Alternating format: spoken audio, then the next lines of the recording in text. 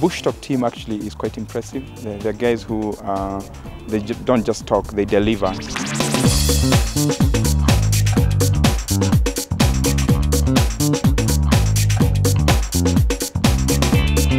The different thing is this place is all in the open, it's a bigger field.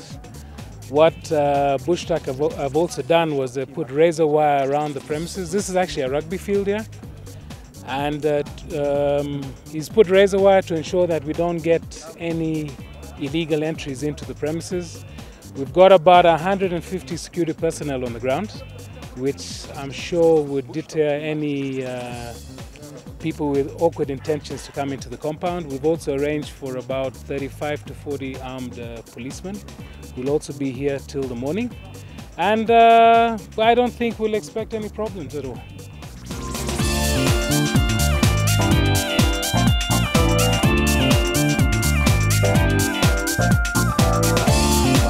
Sam's energy is fantastic. It's, uh, there's a lot of people who have great ideas, but the actual carrying out of those ideas and turning them into an event such as this and making it happen is a different matter.